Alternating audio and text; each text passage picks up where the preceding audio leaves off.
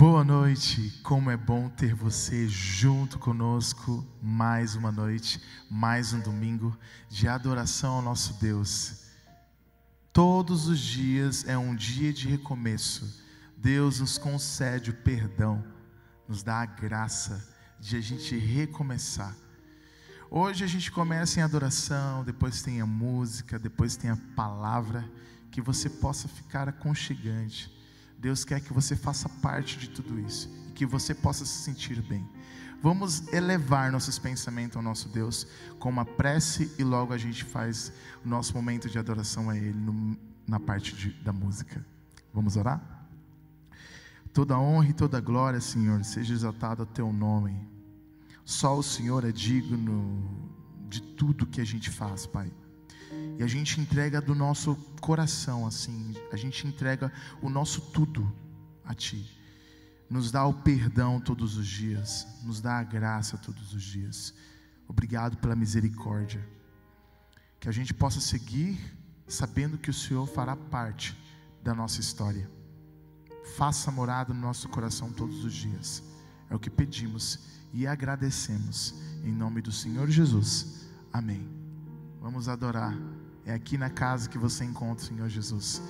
Aliás, não só aqui, em todos os lugares. Cante conosco na casa.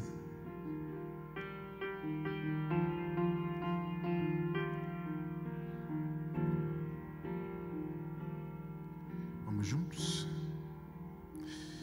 Fui convidado à mesa, larguei minhas defesas e vim reconhecer, não mereci estar aqui.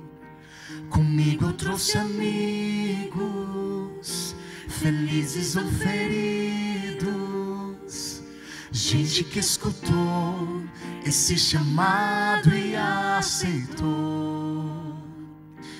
E é tão bom saber que há lugar aqui. A graça nos chamou para a mesa do Senhor. Há lugar na casa, há perdão na casa. Quando estamos juntos, nosso encontro é graça de Deus Pai, a esperança na casa, recomeço na casa, reunidos nele, nosso encontro é casa de Deus Pai, de Deus Pai, de Deus Pai. Adore juntos o som da tua palavra murou a nossa alma. O Verbo nos amou, da solidão nos resgatou. E é tão bom saber, e é tão bom saber que há lugar aqui. A graça nos chamou pra mesa do Senhor.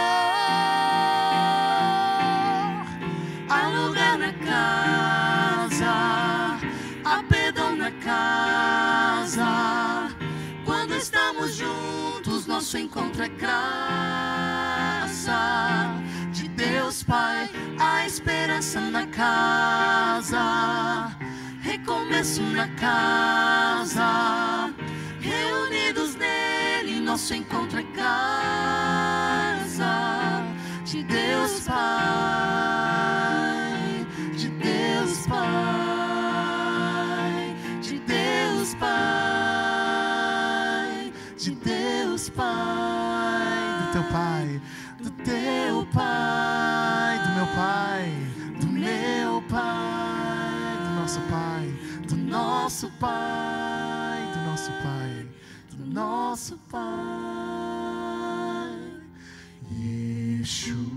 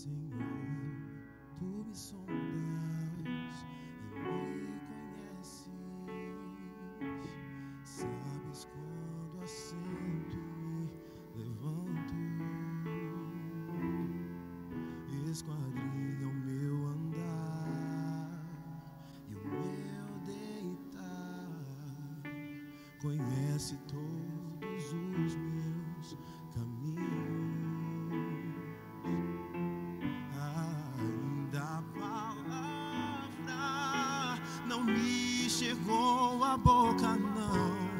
E tu já conheces, Senhor. Tu me cercas por trás e por diante e sobre mim põe tua mão. Sonda-me, ó Deus, conhece o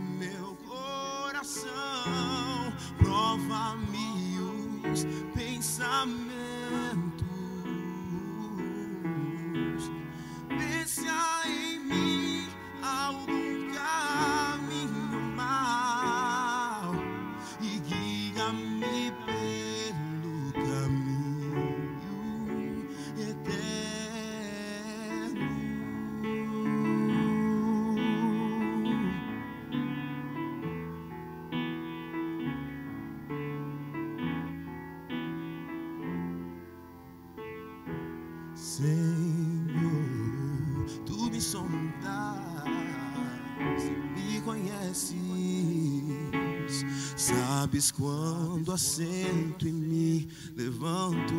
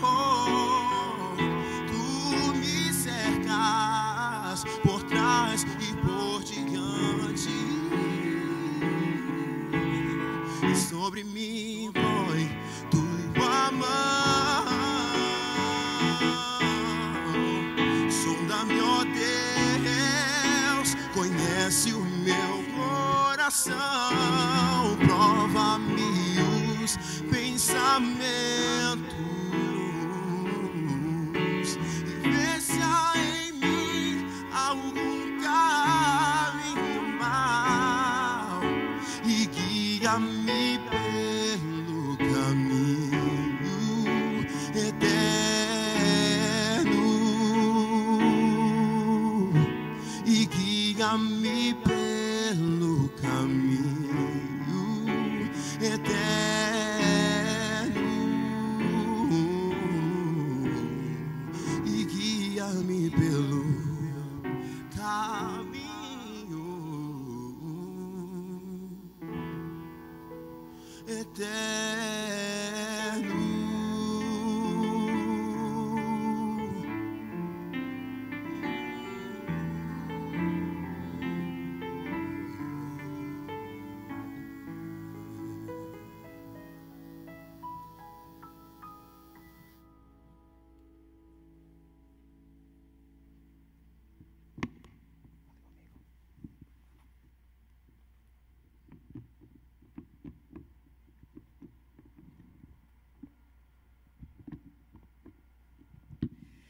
boa noite para você. Que bom que você está conectado conosco aqui nessa noite de domingo. Seja bem-vindo, seja bem-vinda. É bom tê-lo conosco, é bom tê-la conosco aqui nessa noite de adoração. Como é bom ouvir louvores assim, não é verdade? Como é agradável aos nossos ouvidos, ao nosso coração, ouvir louvores que tocam a nossa, a nossa alma. Obrigado pelo Ministério de Louvor, obrigado pelo solo. Foram músicas assim inspiradoras a você que já conectou conosco, a você que já está aí.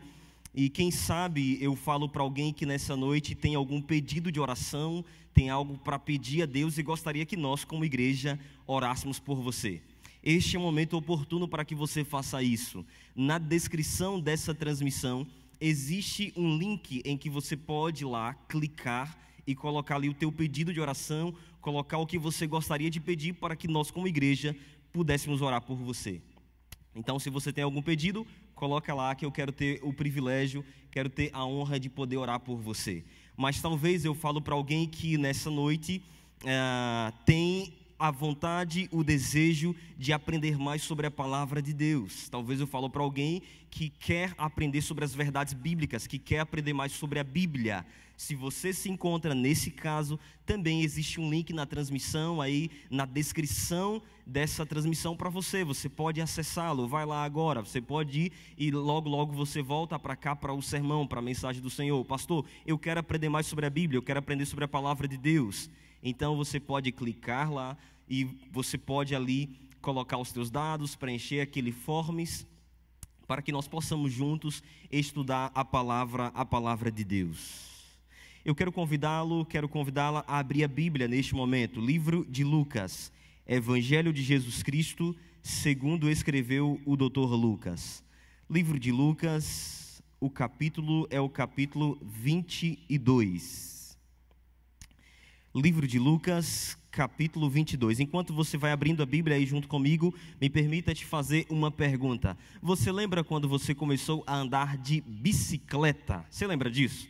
É isso mesmo que eu estou perguntando para você. Você lembra quando você começou a andar de bicicleta? Você lembra disso? Você lembra? É provável, aconteceu comigo, talvez tenha acontecido contigo também. É provável que no decorrer do percurso, que no decorrer do aprendizado, você tenha, quem sabe, levado algumas quedas, você tenha caído algumas vezes, não é verdade? Aconteceu isso com você? Comigo, eu lembro quando eu comecei a andar de bicicleta, eu caí algumas vezes. Só que é impressionante que quando a gente começa a andar de bicicleta, provavelmente tinha alguém ao teu lado. Provavelmente tinha alguém perto de você, tinha alguém para auxiliar você, tinha alguém para estar ali ajudando você, conduzindo você e, quem sabe, ali evitando que você levasse algumas quedas. Não é verdade? É, existe uma pesquisa que diz que 90% dos atletas no mundo nunca ganharam uma medalha. Olha só, 90% dos atletas no mundo nunca ganharam uma medalha. Como eles, assim como eles, semelhante a eles, nós muitas vezes tentamos, mas nem sempre conseguimos. A Bíblia, a palavra de Deus, ela, ela relata muitas falhas de seus personagens, mostrando a vida como realmente ela é. A Bíblia vai relatar várias falhas, vários erros dos personagens que são aqui descritos no texto bíblico. Vai mostrar a vida como realmente ela é. E um desses personagens, um desses camaradas, se chamava Pedro. Pedro. Pedro, você conhece a história dele? Ele foi um discípulo de Jesus Cristo. E nessa noite, neste momento, eu quero convidar você a, junto comigo, meditarmos e aprendermos um pouquinho aqui em um relato que eu destaquei para poder meditar com você aqui na história, na história de Pedro. Livro de Lucas, o capítulo é o 22.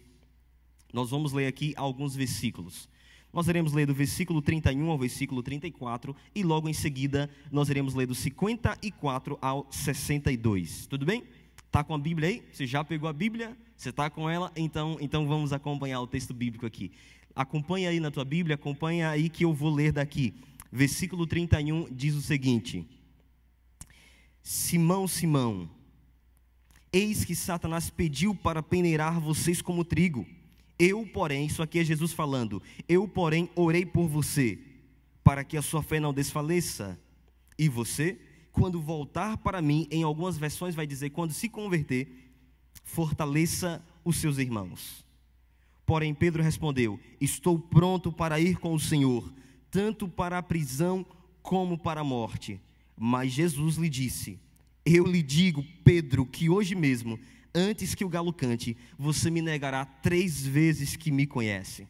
Adianta um pouquinho a leitura bíblica e vamos acompanhar aqui a partir do versículo 54, vai dizer assim: Então, prendendo Jesus, levaram-no e o introduziram na casa do sumo sacerdote.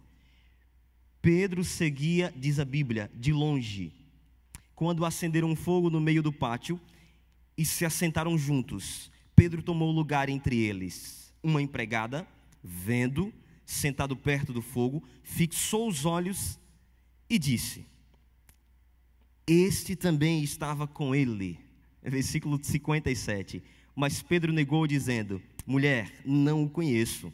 Pouco depois, outro homem, ao ver Pedro, disse: Você também é um deles. Mas Pedro disse: Homem, eu não sou um deles.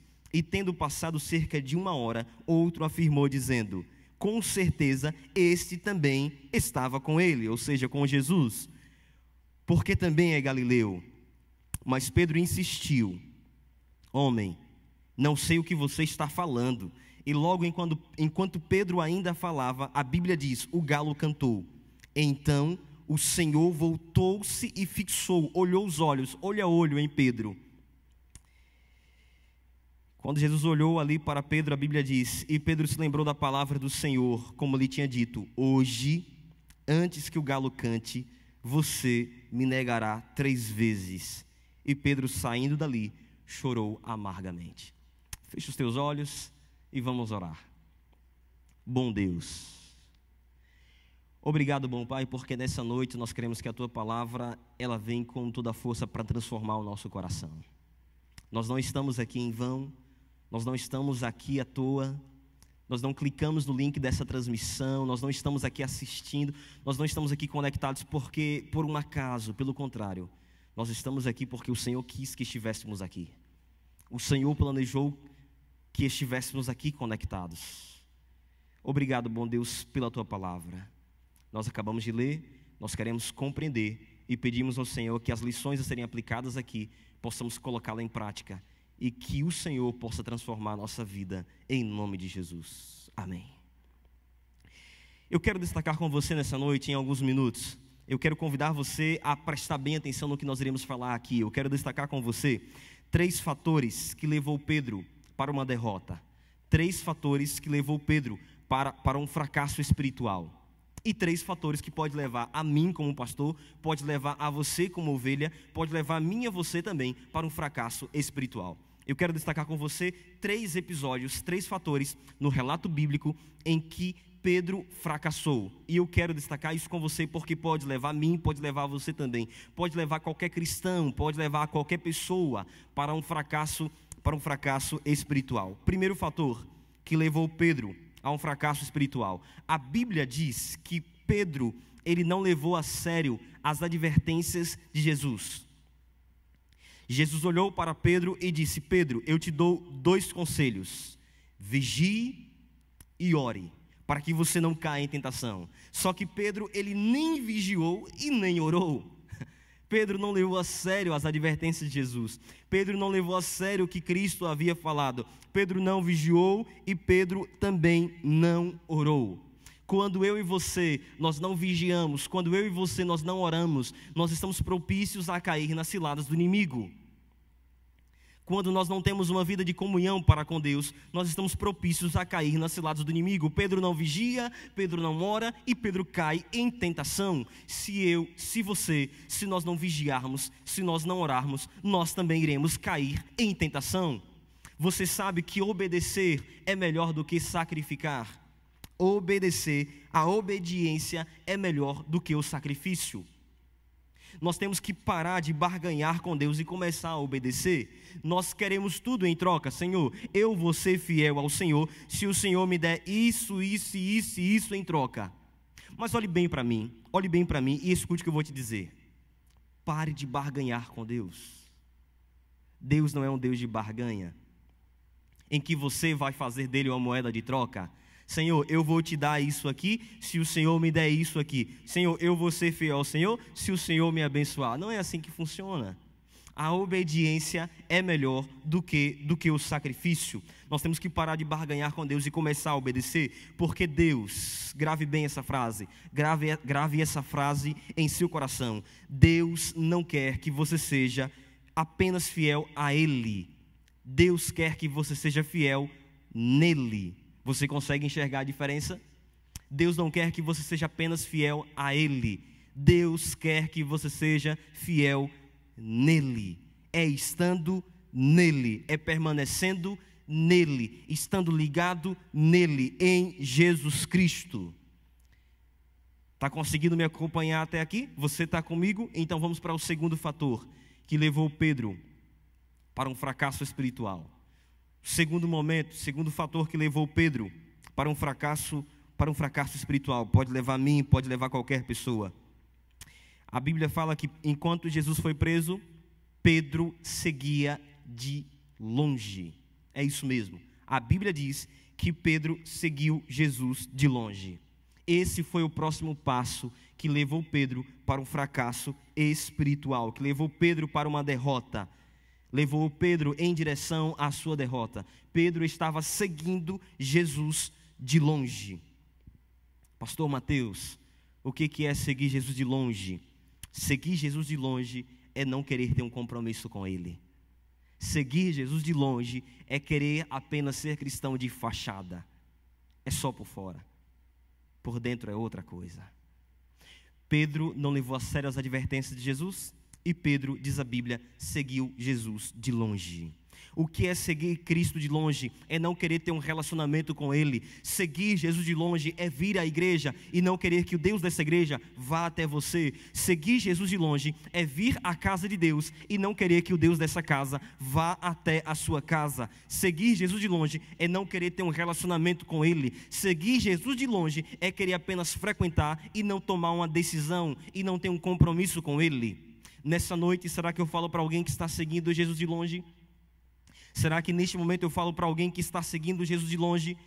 Você sabe que não é o certo, mas você está fazendo. Ah, não, pastor, eu, eu, eu, eu frequento a igreja, eu já tomei estudo bíblico, eu, eu já fui a uma igreja, já fui a outra, mas eu ainda não tomei uma decisão ao lado de Cristo. Eu não sou batizado, eu não sou batizada, eu, eu não aceitei Cristo ainda de todo o meu coração. Olhe bem para mim e grave o que eu vou te dizer. Você está seguindo Jesus de longe e todo aquele que segue Jesus de longe está caminhando rumo à derrota espiritual. E isso é muito sério o que eu estou te dizendo aqui. Entenda o que eu estou te dizendo com muito carinho. Eu estou te falando isso com muito carinho. Eu estou te falando isso. Seguir Jesus de longe é um passo a mais para uma derrota espiritual. Se você ainda não tomou uma decisão ao lado de Cristo, se você ainda não aceitou Jesus em seu coração, se você ainda não é batizado, ainda não é batizado, não sei o que impede você, não sei o que atrapalha você, mas você está seguindo Jesus de longe e seguir Cristo de longe é um passo a mais para uma derrota. Não queira seguir Jesus de longe. Pelo contrário, tome uma decisão ao lado dele. E eu repito, nessa descrição tem um link. Você pode ali colocar o teu pedido de oração e no final dele tem uma decisão que você pode tomar. No final desse link tem uma decisão que você pode tomar, você pode clicar lá, pastor, eu aceito Jesus, pastor, eu quero ser batizado, pastor, eu quero seguir Jesus de perto e não de longe. Terceiro fator que levou Pedro para o seu fracasso espiritual. Eu falei para você logo no início que nós veríamos aqui no texto bíblico três fatores que levou Pedro para o seu fracasso espiritual, três fatores que distanciou Pedro do seu propósito, pode distanciar a mim pode levar você a um fracasso espiritual também. Terceiro fator que levou Pedro ao seu fracasso espiritual. Enquanto Jesus foi preso, algumas pessoas sentaram ali para falarem mal do que estava acontecendo, para murmurar, e Pedro tomou lugar entre eles. A Bíblia diz que Pedro sentou-se junto aos oficiais. Pedro sentou em território inimigo. É isso mesmo. Terceiro fator que levou Pedro à sua derrota espiritual, Pedro sentou-se em território, em território inimigo. Pedro ali era um alvo fácil. E você sabe, você sabe que em um ambiente de batalha, você sabe que em uma batalha, um soldado do exército inimigo, estando no outro território, ele é um alvo fácil. Pedro estava em território inimigo. Você lembra o que diz lá no Salmos, o capítulo 1? Você lembra disso? Não se assente na roda dos escarnecedores, e Pedro se sentou não se detenha no caminho dos pecadores, e Pedro estava lá. Pedro estava em território inimigo. Pedro sentou-se junto aos oficiais, Pedro sentou-se junto àqueles que estavam escarnecendo, Pedro sentou-se junto àqueles que estavam murmurando. Pedro, ele estava em território inimigo. E aqui eu quero falar diretamente para você, você sabe em que você é falho. Você sabe os teus pontos fracos, você sabe em que você pode cair. Você sabe no que você é fraco. Ah, pastor, eu sou fraco em X e Y. Então você tem que passar longe daquilo ali. Você tem que se distanciar daquilo ali. Pastor, eu, eu já fui assim. Eu já cometi isso. Eu já andei assim antes de, de, de ter um relacionamento com Cristo. E pastor, ainda é o meu lado fraco. Ainda é ali o, o meu espinho na carne. Então, se você sabe, se você reconhece em que você é fraco, você não pode passar perto, você não pode estar ali, você não pode procurar meio para estar ali. Você sabe do que eu estou falando. Mas Pedro sentou-se em território inimigo. A Bíblia já havia aconselhado: não se assente em território inimigo, e Pedro se sentou. Me permita te dar um conselho. Sente-se fora, longe, distante do território inimigo passe longe, passe longe do território inimigo. Logo em seguida, a Bíblia diz que o galo canta. O galo canta. Cada um de nós, em um momento ou outro, vai falhar com o nosso Senhor. Cada um de nós, em um momento ou outro, iremos falhar com Deus. E de uma forma ou de outra, nós iremos ouvir o cantar do galo. O galo canta, e logo em seguida, depois que o galo canta, a Bíblia diz que Jesus olhou para Pedro. Jesus olhou para Pedro. Jesus havia aconselhado Pedro, vigie e ore, Pedro não vigiou, Pedro não orou. Jesus aconselhou a Pedro, olha, não se assente território inimigo, Pedro se sentou. Jesus havia aconselhado a Pedro, Pedro, você não pode me seguir de longe. Pedro seguiu Cristo de longe. Pedro decepcionou Jesus. Pedro frustrou Jesus. E naquele instante, Jesus estava olhando para Pedro. A Bíblia fala que eles olham olho no olho. Jesus olhou fitamente para Pedro, olho no olho para Pedro. E quando eu olho para o texto bíblico, me vem uma pergunta em minha mente: que tipo de olhar era aquele? Que tipo de olhar era aquele de Jesus para Pedro? Será que era um olhar de ódio, de rancor, de amargura, de decepção? Que olhar era aquele? Sabe, querido amigo, aquele olhar não foi um olhar de rancor. Aquele olhar não foi um olhar de ódio. Aquele olhar não foi um olhar de ressentimento. Foi um olhar de sentimento. Jesus estava olhando para Pedro e aquele olhar foi um olhar de perdão. Jesus olha para Pedro e no olhar, Jesus estava perdoando a Pedro. Pedro, eu te perdoo.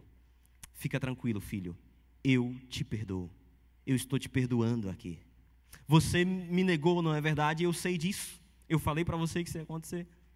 Você frustrou, Pedro. Você, você sentou-se em território inimigo. Você, você não vigiou. Você, você não orou. Mas eu estou perdoando você eu estou perdoando você. É por isso que logo em seguida a Bíblia fala que Pedro sai dali e chora amargamente, porque Pedro sentiu-se perdoado. Aquele era um olhar de perdão. Aquele era um olhar de perdão. Aprenda uma coisa, grave bem essa frase: o fracasso, o fracasso, ele não é fatal se você aprender com ele. Gravou a frase? O fracasso não é fatal se você aprender com ele. Nós nunca devemos usar, usar o fracasso como uma desculpa para não tentar novamente. Ah, pastor, é porque eu errei. Pastor, eu fiz isso, isso isso. Então eu nem vou tentar de novo. Não, não é assim. Não use o fracasso como uma desculpa para não tentar novamente.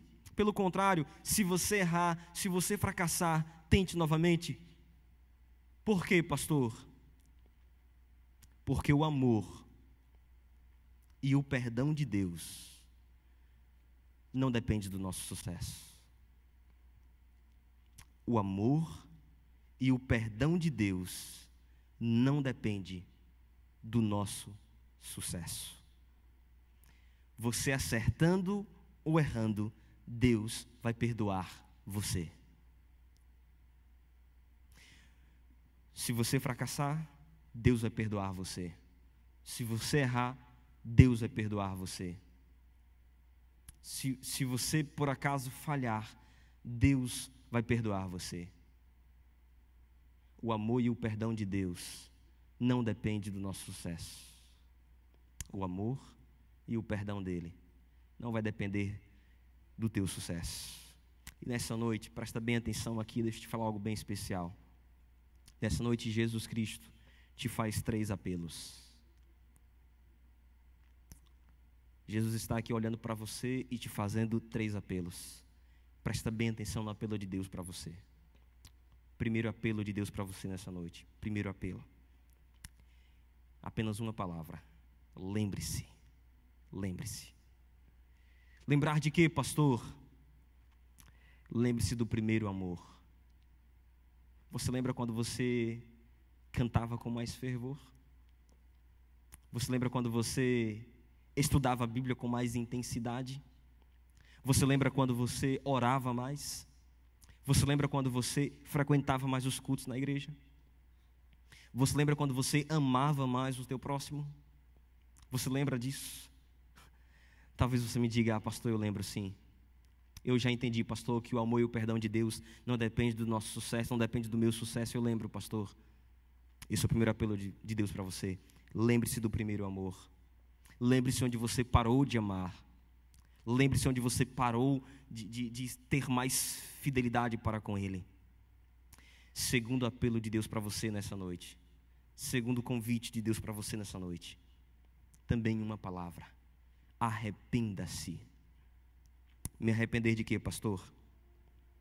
De ter abandonado o primeiro amor. Arrependa-se de ter abandonado o primeiro amor. Arrependa-se de ter deixado o primeiro amor de lado. Arrependa-se de ter deixado Jesus Cristo de lado. Arrependa-se de ter tido uma vida de negligência para com Ele. Arrependa-se de ter seguido Jesus de longe. Arrependa-se de não ter tido tanta comunhão para com Ele.